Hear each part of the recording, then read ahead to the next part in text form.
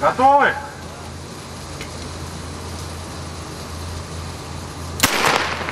Здесь все решают скорость, четкость и результат. Спасение людей, которые оказались заблокированными в салоне автомобиля. Во время соревнований, как и при настоящей спасательной операции, команды как выстрел из стартового пистолета. Короткие и четкие.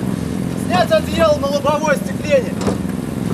За звание лучшей команды Самарской области по проведению аварийно-спасательных работ при ликвидации чрезвычайных ситуаций на автомобильном транспорте боролись 9 команд из разных районов региона. Задача участников соревнований – эвакуировать потерпевших из автомобиля при помощи специальных инструментов, оказать им первую медицинскую помощь, потушить загоревшуюся машину. По словам спасателей, они даже прибегают к системе медитации.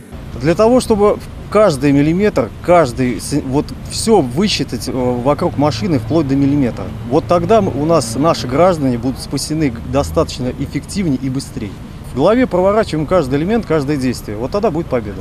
Только в 2022 году пожарно-спасательные подразделения Самарской области выезжали на дорожно-транспортные происшествия 2137 раз. Спасли 87 человек. Среднее время реагирования составило 6 минут 30 секунд. Такие соревнования помогают личному составу отточить свои навыки. Обмен опытом вот, способами и навыками э, проведения аварийно-спасательных работ.